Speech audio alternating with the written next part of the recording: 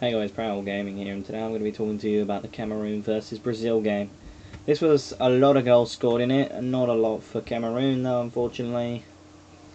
But yeah, let's get into this. Uh, the first goal was scored by Neymar. It was pretty much a tap in from just in front of the goal, and Neymar's not going to miss those. Them sort of opportunities are the sort of thing that Neymar loves, and he'll score every time he has them. The next goal was scored by Matip yeah, he's a pretty good player. I believe he plays for Schalke in the Bundesliga. So he just got a simple tap in. Cameroon 1 1. They're back in the game. Um, then Neymar gets another goal. Just, it's a very nicely worked goal.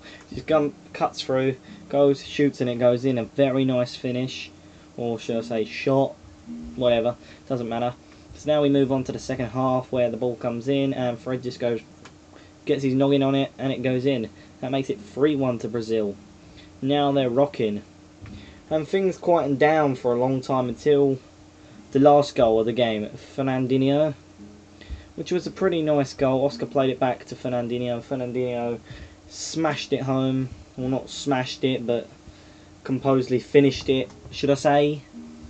So, by then, Brazil have a 4-1 lead, and that knocks Cameroon out of the World Cup because they lost previously to Mexico. Now, unfortunately for Cameroon fans, they haven't had the most amazing World Cup, and they definitely have had some problems after what happened on the pitch when they were fighting. Song sent off for doing something really, really stupid. So Cameroon may have a few problems.